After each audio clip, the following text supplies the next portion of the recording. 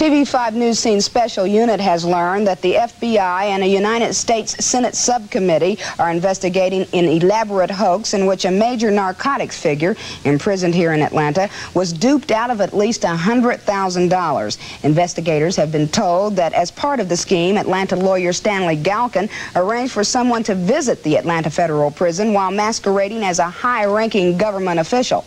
Here's TV5's Richard Belcher.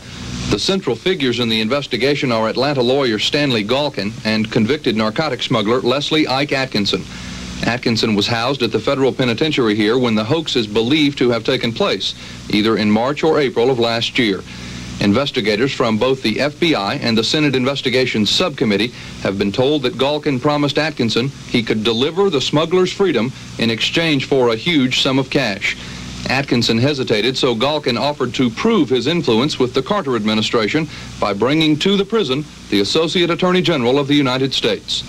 The real Associate Attorney General was and is former Atlanta lawyer Michael J. Egan, but he had never heard of Stanley Galkin. Galkin knew that, but Leslie Atkinson did not.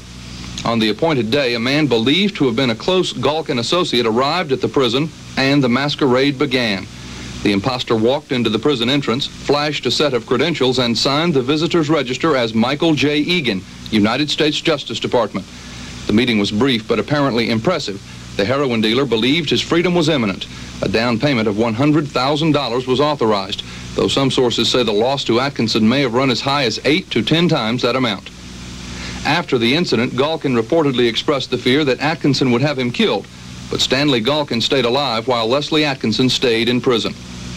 An FBI official in Atlanta has confirmed the Bureau's investigation and its interest in Stanley Galkin.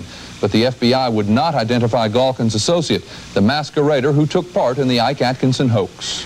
Associate Attorney General Egan acknowledged that he is aware of the FBI investigation of the hoax, but he did not elaborate.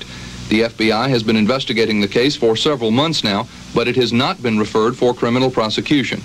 If that is done, the charge would apparently be impersonation of a federal official. Even if there are no criminal charges, both the FBI and the Senate Investigation Subcommittee are known to be aware of other serious allegations relating to the Galkin-Atkinson relationship, and especially to Stanley Galkin alone. For the News Scene Special Unit, this is Richard Belcher.